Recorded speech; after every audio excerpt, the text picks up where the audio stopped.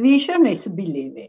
However, what we see and the world that we perceive can be very different from reality, as the brain is attempting to actively construct an optimal representation of the world under natural ecological conditions. Like cameras, our brain captures the external distribution of light and transmits some of it to the occipital pole of the two hemispheres which commence the first processing to derive the main salient information for each individual position in the visual field. Here, the neurons, the building block of the nervous system, respond to simple visual elements, as shown in this original recording from the Nobel Prize winners Hubel and Wiesel in the 60s.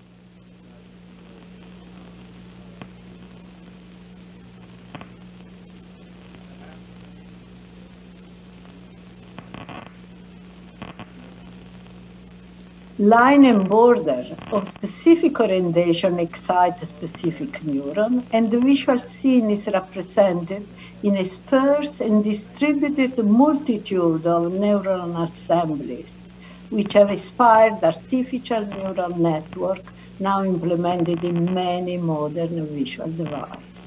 To construct the image of the world, our brain uses at least 25 different cortical areas in each hemisphere, shown here in different colors, each specialized for the analysis of different aspects of the retinal input.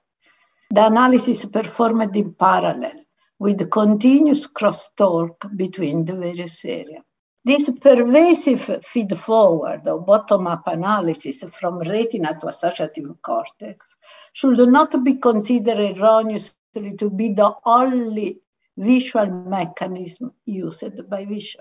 The internal representation of the world is achieved by a complex and partially unknown phenomenon that combines feed-forward analysis with prior knowledge that includes expectation, attention, temporal spatial constants that we learn during development.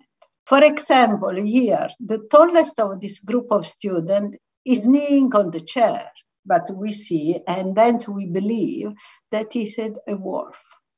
This is a version of the Ames room illusion, where wrong perspective cues of the ad hoc built chairs give a strong illusion of that. To fit with that illusion, the student must be seen as small. Similarly, these rotating masks are hollow, but we perceive them as convex because we learn through experience that faces are solid, with nose pointing out, not hollow with concave noses. Prior information helps generate vision in all domains. Look at this dress are the stripe of this piece of material yellow or blue? It depends. The working prior tells the brain that the shadow and the dress material are constant over space, and the brain resolves the ambiguity of the scene by switching color. But do we know that we see all the same? We believe this to be so, but individual variations are consistent and reliable. Some people see the central dress as gold, other as blue.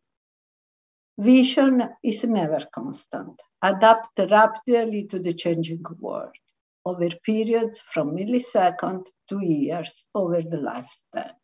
By adaptation, this black and white image become transiently colored after fixate at the center spot of this colorful image.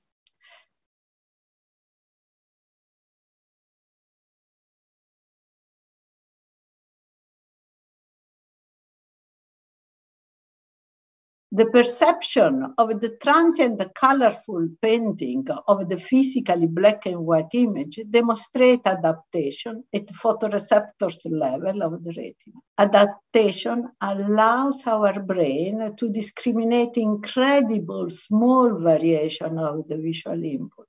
It takes place at all stage of analysis and all associative cortex. What you see now is influenced by what you just saw a few seconds or minutes ago, being it an object of a particular shape, a face, a place, and the motion pattern. Is this beautiful Van Gogh picture dynamic?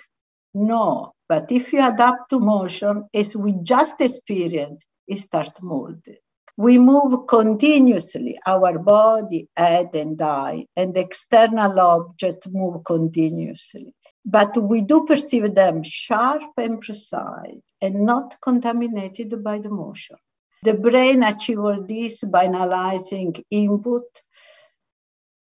on the fly, but without the prior information of the constancy of the object shape and its movement and position that we learn with experience, it would take seconds instead of milliseconds, and vision would be highly precise. So the take-home message is vision is generative.